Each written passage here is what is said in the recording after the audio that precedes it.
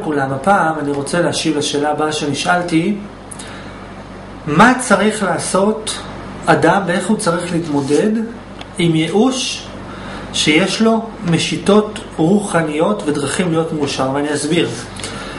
בן אדם מחפש את האושר כמו כולם ניסה שיטה כזאת, ניסה שיטה אחרת אבל מה לעשות, מרגיש שהדבר לא עובד. מה זאת אומרת לא עובד? לא עובד פירושו שהוא מספיק אמיתי עם עצמו, שהוא מספיק אמיתי עם עצמו להודות שהדבר הזה לא גרם לו להיפטר מהרצון להיות מאושר. כי בעולם שלנו יש הרבה שיטות.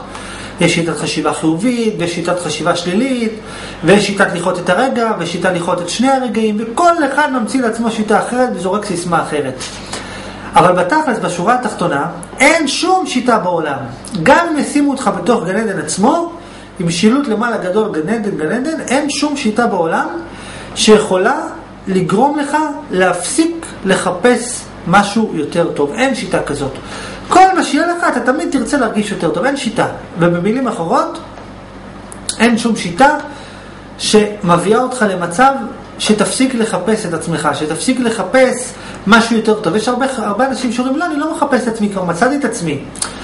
ובעצם מה שהם מתכוונים לומר זה לא שהם מצאו את עצמם, הם מצאו את הדרך שבה הם מחפשים את עצמם. זאת אומרת, בן אדם מגיע לאיזה דרך, הוא אומר, או, oh, עכשיו מצאתי את הדרך שבה אני אמצא את עצמי, אבל את עצמו הוא עוד לא מצא. איך תדע שמצאת, שמצאת את עצמך? ביום שתפסיק לחפש. ביום שלא יעניין אותך יותר דרכים להיות מאושר, זה סימן שאתה מאושר. ביום שלא יעניין אותך יותר מה האמת, זה סימן שאתה נמצא באמת. ביום שלא כל הזמן תחשוב על איך מה אני יכול לעשות כדי להרגיש יותר טוב, זה סימן שאתה מרגיש טוב. זה הסימן. אתה רוצה לבדוק אם אתה אמיתי או לא? תבדוק אם, אם האמת מעניינת אותך. אם היא מעניינת אותך, אתה לא מספיק אמיתי. אתה רוצה לדעת אם הטוב, אם, אם מספיק טוב לך או לא? תבדוק אם, אם הטוב מעניין אותך. אם הוא, אם הוא מעניין אותך, אתה לא מספיק מרגיש טוב. כי הטוב עצמו לא מחפש טוב, את האמת עצמה לא מחפשת אמת, היא פשוט אמיתית, היא לא מחפשת אמת.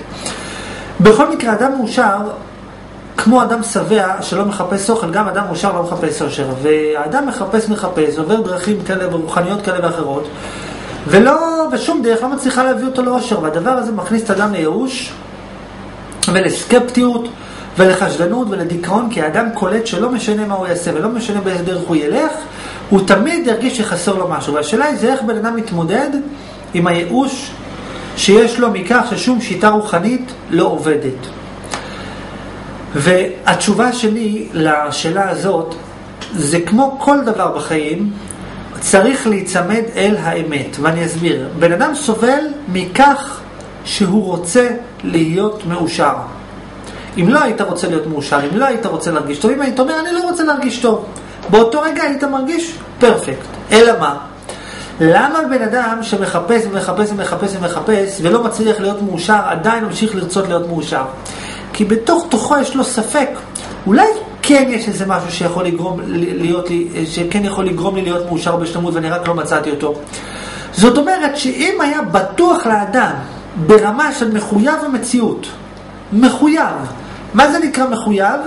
מחויב זה שאין אפשרות לחשוב על ההפך. אם אתה יכול לחשוב על ההפך, אם אתה עדיין בראש שלך מסוגל לחשוב על ההפך, אז עדיין לא מחויב. אם האדם היה ברור לו ברמה של מחויב המציאות שאין אפשרות להיות מאושר, באותו רגע הוא היה מפסיק לרצות להיות מאושר ונהיה מאושר. כשאדם עובר משיטה רוחנית לשיטה רוחנית, ואף שום שיטה לא מביאה אותו לאושר והוא נכנס לדיכאון, זה בגלל שבתוכו יש נקודת אמת שאומרת לו, תקשיב, יש משהו שאולי אם תנסה אותו, כן תהיה מאושר ועוד לא מצאת אותו. ובעצם מה שאני בא לומר זה שאדם צריך להיות אמיתי עם עצמו, ולהיות אמיתי עם עצמך פירושו לשאול את עצמך שאלה פשוטה. האם זה מחויב המציאות של אני לא אהיה מאושר? האם זה מחויב או רק אפשרי? זאת אומרת, האם ברמה התיאורטית, תיאורטית, בדיונית, בסיפורי המדע, המדע הבדיוני, בסרטי המדע הבדיוני, האם תיאורטית יכול להיות מצב שפתאום אני אגלה איזה משהו שעשה אותי מאושר? תיאורטית, יכול להיות. יכול להיות, אתה יכול, מישהו יכול להתחייב שלא? כי אם היה ברור לך במוחלט שאתה לא יכול להיות מאושר, לא היית רוצה להיות מאושר, אף אחד לא רוצה משהו שהוא לא יכול לעשות אותו, ככה זה עובד. ואם אתה רוצה, זה סימן שאתה אומר, אולי תיאורטית כן אני יכול, אולי בכל זאת.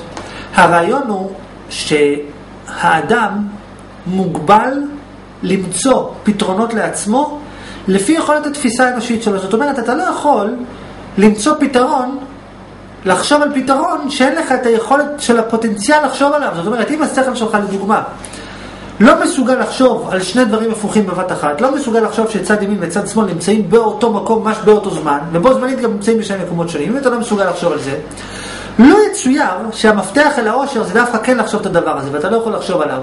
אז ממילא אתה גם לא תוכל אף פעם להגיע לפתרון של העושר בכוחות עצמך. אבל, איפה האבל? האבל הוא שעדיין בתוכך אתה יודע, אולי בכל זאת יש משהו שלמרות שאני לא יכול לחשוב עליו בשכל שלי, בכל זאת אולי הוא כן קיים דרך להיות מאושר. זאת אומרת, זה שאתה לא מצליח בשכל שלך למצוא דרך להיות מאושר, זה לא אומר שאין דרך להיות מאושר, זה אומר שאתה בשכל שלך עד כה לא הצלחת להיות uh, מאושר, אבל זה לא אומר שאי אפשר להיות מאושר. בעצם מה שאני בא לומר, זה שאדם צריך להיות אמיתי עם עצמו בדבר אחד, ואסור לו להתייאש מלחפש את האושר. ואם אתה רוצה להתייאש מלחפש את האושר, זה מושלם, מושלם. תתייאש מלחפש את האושר, אבל בשלמות.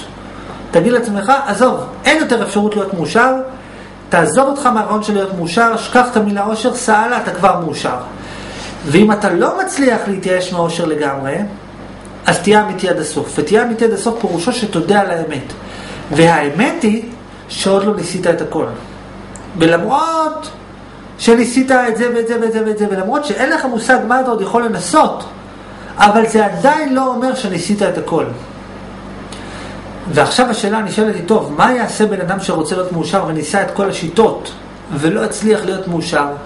דהיינו, לא הצליח להביא את עצמו למצב שהוא יפסיק לחפש עוד אושר, כי גם בודה וגם אה, לא משנה מי, כל מקום במקום שהוא נמצא, הוא תמיד אומר, אני רוצה שיהיה יותר טוב, אני רוצה שיהיה יותר טוב, אולי שישדרגו לי את המחלקה בגן עדן, אולי שיקדמו אותי. ואף אחד לא מאושר אף פעם, כי תמיד יש לו לאיפה להתקדם, לכן הוא אף פעם לא מאושר. כי תמיד הוא חווה חסר. עושר פירושו שאתה בשלמות אינסופית, שהשלמות האינסופית היא שלך במתנה. וכל זמן שאתה רוצה להתקדם יותר, זה אומר שאתה חי בעולם של טוב ורע, וזה אומר שרע לך. כי אם אתה יכול להתקדם, זה אומר שיש אצלך כרגע דבר רע.